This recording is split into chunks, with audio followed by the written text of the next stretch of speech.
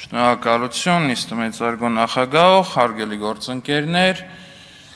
պարոն Վարդևանյան, ձեզ թեթև պատմական ակնարկ, որ մարտի 1-ի դեպքերից հետո ազգային ժողովի 4 падգամավոր կալանավորված է եղել։ Էլ էլ չասած, պարոն Վարդևանյան, հայ դանձերնմխելիության հաղթարումներ մի ուրիշ հետաքրքիր երևույթ է, դրա մասին հետո կխոսենք։ Էլ չեմ խոսում հոկտեմբերի 27-ի մասին, երբ падգամավորները ոչ թե կալանավորվում էին, այլ սպանվում ազգային ժողովի նիստերի դահլիճում պարոն Վարդևանյան։ Երկուսն է իդեպ ձեր քաղաքական առաջնորդի նախագահության տարիներին։ Իսկ գալով արդեն քննարկվող Հայաստան խմբակցության կողմից առաջարկված նախագծի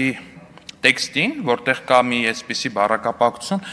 կառավարությանը կոչ ենք անում Հայաստանի հայ ժողովրդի թիկունքում հակահայկական ինչ որ քայլեր եւ այլն,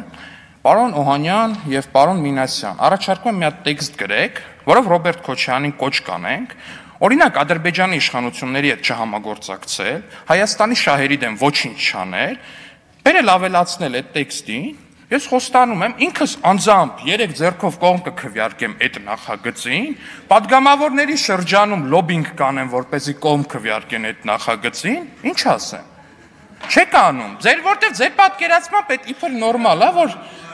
պարոն Մինասյան, սա երկխոսություն չի։ Սա երկխոսություն չի։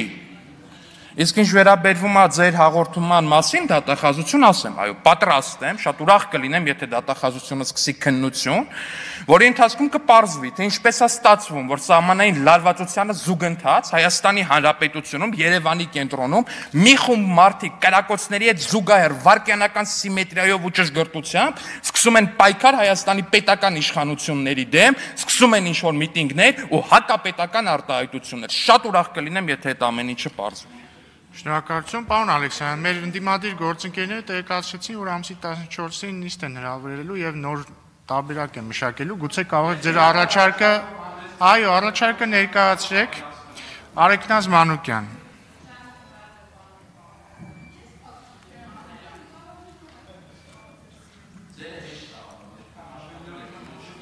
Դուք գոնե տեղյակ եք, թե ադրբեջանական Արգելի գործընկեր